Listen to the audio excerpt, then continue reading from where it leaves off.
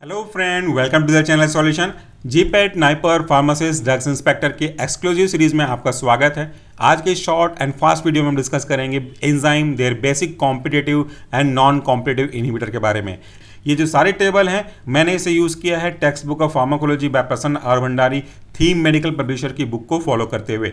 इस बुक से संबंधित पूरी डिटेल आपको इसी वीडियो के डिस्क्रिप्शन बॉक्स में मिल जाएगी, चाहे तो आप इस बुक को प्रीफर कर सकते हैं। सबसे पहले अगर हम बात करें टेबल की तो टेबल को मैंने दो पार्ट में क्लासीफाई किया है, एक कॉम्पिटेटिव इनिबिटर्स ड्रग का और दूसरा है आपका नॉन कॉम्पिटेटिव इनिबिटर की क्लास का।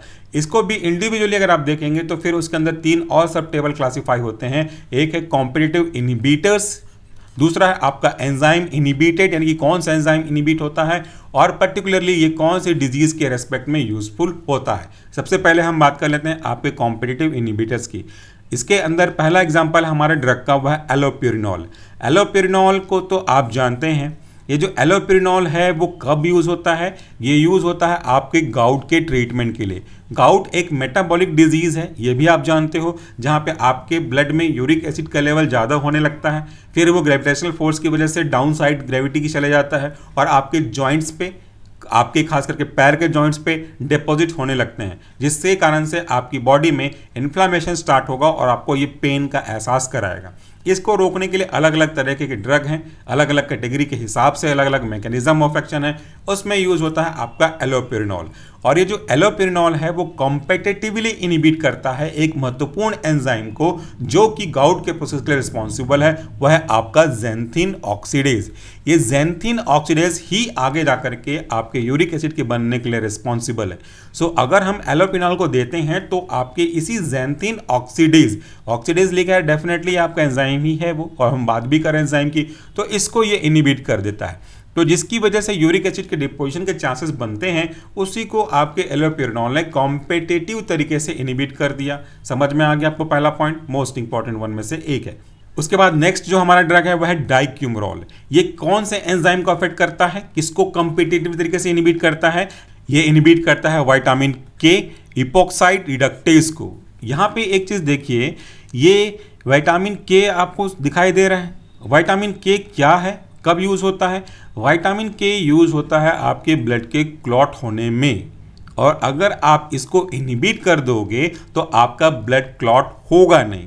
तो ऐसे एजेंट जो कि ब्लड के क्लॉट को इनिबिट करने का काम करते हैं, उसे हम क्या कहते हैं? उसे हम कहते हैं एंटीकोगुलेंट तो अगर आप इसे इनिबिट करते हैं तो इसका यूज़ हम एंटीकोगुलेंट के रूप में कर सकते हैं।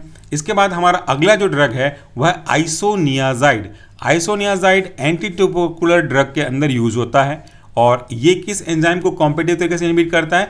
ये इनिबिट करता है आपका पैरिडॉक्सल फॉस्पेट को। और पाइडॉक्सल फॉस्फेट को इनिबीट करके ये थेरेपोटिक इफ़ेक्ट प्रोड्यूस करेगा आपके ट्यूबरक्लोसिस के केस में। उसके बाद जो नेक्स्ट हमारा ड्रग है वह है नियोस्टिगमिन ये नियोस्टिगमिन अफेक्ट करता है एसिटाइल कोलिन एस्टेरेस को। एसिटाइल कोलिन एस्टेरेस को अफेक्ट करेगा तो क्या होगा और कहाँ यूज़ होगा? आपको शायद याद हो थ्योरी में हमने पढ़ाया हुआ है माइस्थीनिया ग्रेविस एक ऐसा केस है जहाँ पे स्टाइल कोलिन डिग्रेड जल्दी से हो जाता है। और उसको डिग्रेड करने के पीछे रिस्पॉन्सिबिलिटीज होती है आपके स्टाइल कोलिनेस्टरेज या जिसे हम सीधी सीधा सीधा कोलिनेस्टरेज भी कहते हैं। तो जो आपका न्यूस्टिगमिन है, वो इसी एसिटाइल कोलिन एस्टरेज को इनिबिट करता है कॉम्पिटिटिव तरीके से, और इसी के इस प्रॉपर्टी की वजह से हम इसका यूज़ करते हैं माइस्थीनिया ग्रेविस के केस में।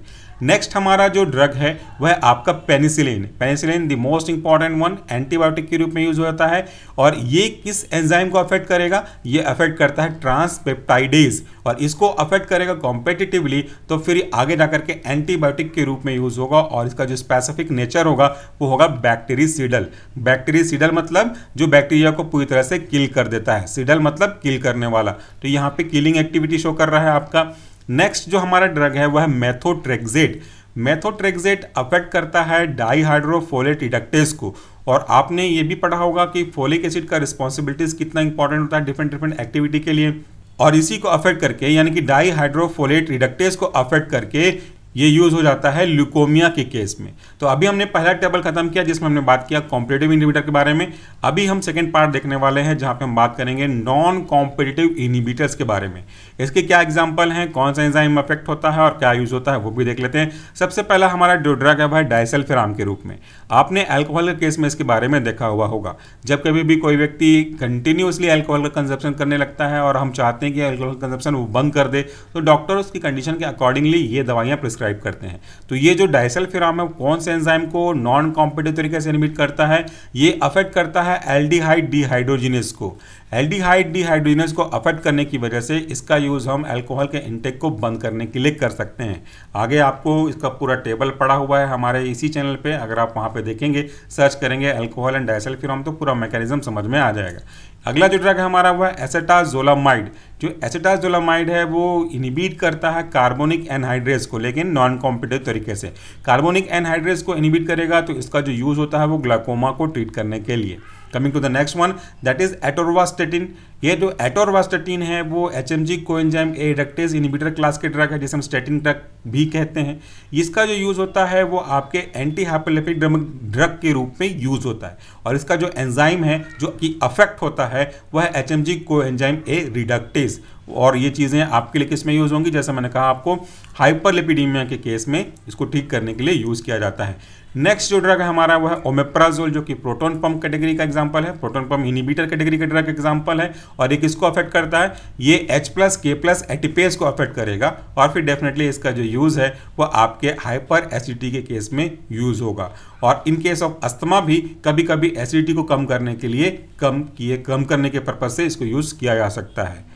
ये एसिडिटी किसी भी केस में हो, जिस केस में सीवीआरटी को आपको मैनेज करना हो, वहाँ पे सोमेप्राजोल का यूज़ करते हैं। बेसिक पर्पस है कि एसिडिटी को कम करना। अब जिस कंडीशन में एसिडिटी थोड़ा सा और एड ऑन को मॉर्बिड कंडीशन में बदल सकता है, वहाँ पे इसकी प्रायोरिटी और है। तो एग्ज़ाम्पल के लिखा हुआ है इन केस ऑफ़ अस्थमा बाकी ये और भी केस में हो सकते हैं।